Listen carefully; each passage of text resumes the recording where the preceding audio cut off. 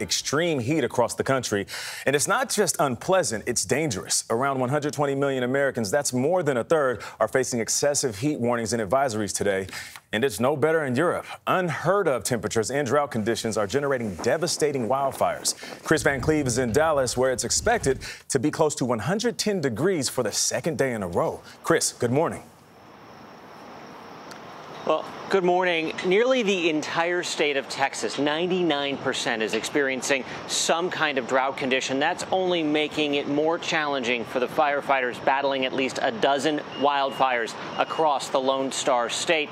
And of course, the heat is taking an impact on critical infrastructure and raising concerns about the safety for people nationwide. Scorched by unrelenting heat, bone dry Texas brush is fueling wildfires across the state.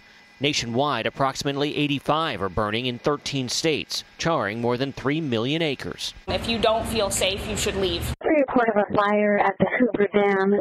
On the Arizona Nevada border, part of the Hoover Dam briefly caught fire after a transformer exploded in 109 degree heat. The cause is under investigation and tragedy in this Tallahassee parking lot where police are looking for answers after an 11 month old was found dead in the back of a hot car, potentially marking at least the 12th hot car death this year. How quickly can this kind of heat impact a person?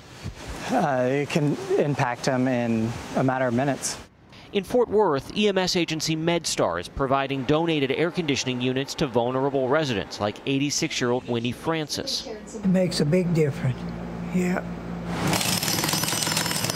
Braving 110 degrees, city repair crews are working on one of nearly 200 water mains that have burst in the last 30 days alone as temperatures consistently hit triple digits. The ground is drying out, and when it shifts, the, the water mains can break.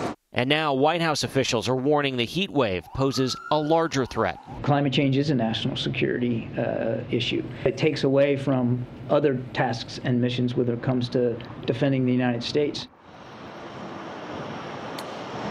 Now, there have been no reports of any injuries linked to the wildfires, but several structures have been destroyed. You may notice we're getting a breeze today feels good right now, but the National Weather Service is concerned that that only elevates the risk for significant fire danger across Texas.